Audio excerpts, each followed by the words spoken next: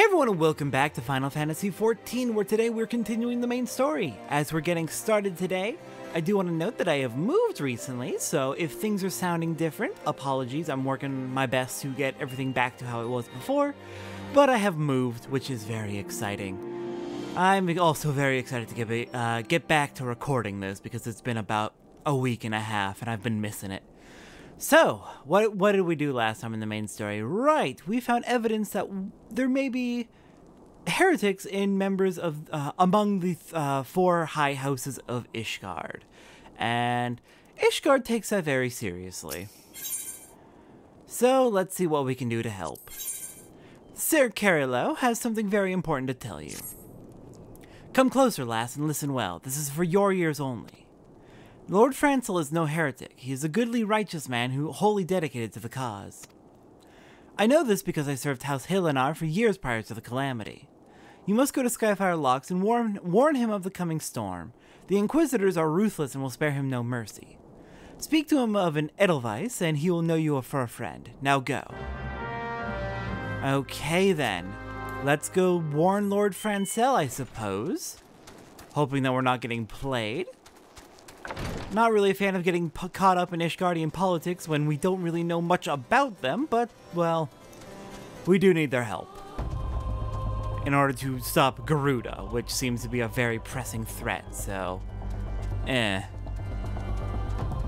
Alright then, Lord Francel, we are going to be heading up this way, a little ways up the Skyfire Locks, veering off to the west, and looks like in this building up here. Alright, where are you, Lord Francel? There you are. Yes, you look as though you have something to say, do you? Uh, is that an Edelweiss in your pocket? Are you just, oh really? You're gonna make me say that?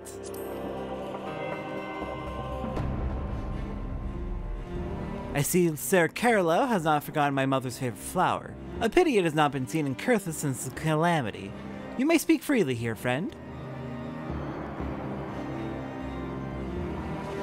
That's that's absurd. I would sooner die than become a thrall of the dragons.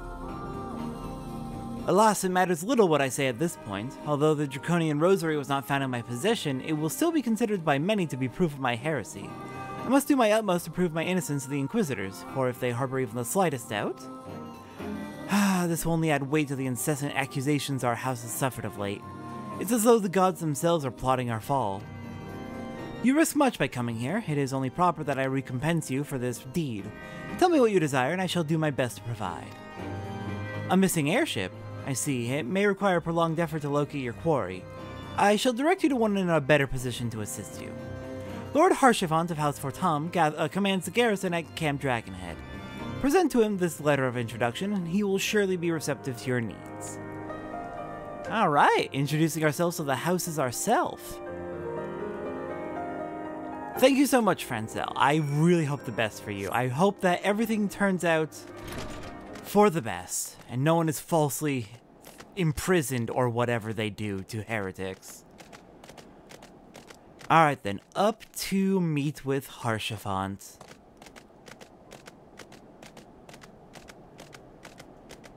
And that's going to take us the rest of the way up to Camp Dragonhead where we can get a new porter as well as uh, Aetheryte.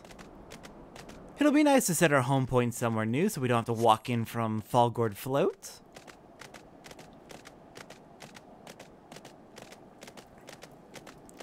Alright, we'll start with the porter.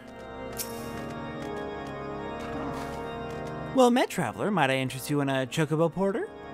Ah, do not tell me. This is your first visit to this stop. Yes, it is indeed. Thank you so much for getting me registered, so now we can... Well, hello, Cid and Alphinaud. How are you two doing? I'm glad we left the observatorium. The people there were not friendly. Though even here I can feel eyes upon us. We... we are not safe. Were you in the observatorium and I just didn't notice you? I'm so sorry. We came here to find an airship, yet now we meddle in Ishgardian affairs of state? God, if Alisaie were here, I would never hear the end of it. Yeah, I'm I'm kind of feeling I'm kind of feeling not so great about this either. I assume Alisaie would be your sister then, who we saw back at the uh, back at the memorials before we became a member of the one of the grand companies. Alright, Aetheryte attuned. I'm realizing I forgot to set my home point, so let's go fix that.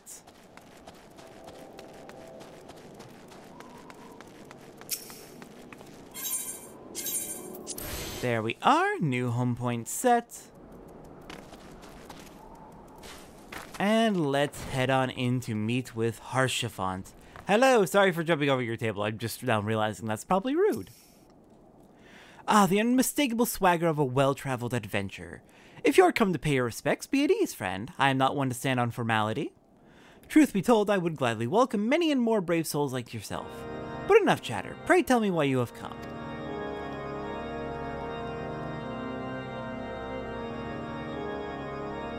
If there's any justice in this world, these charges will receive no serious consideration.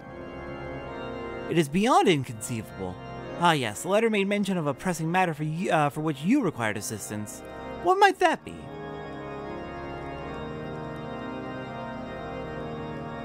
So this enterprise you speak of was last seen above Coerthas before the Calamity five years ago.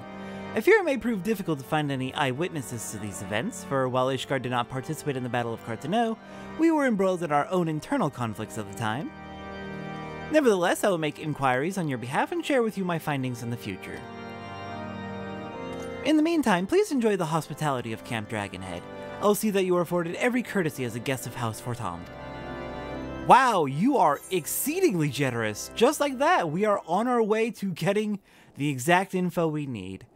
I'm going to just go ahead and take the money because I'm pretty sure we're going to be building our own armor pretty soon.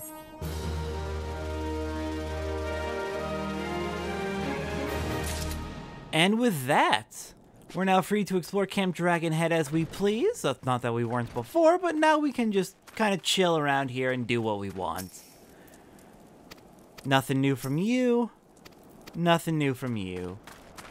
So then, next time on Final Fantasy XIV, uh, I believe it's time to head back to Limsa Lominsa so we can do some armoring. Time to make ourselves some nice new metal armor.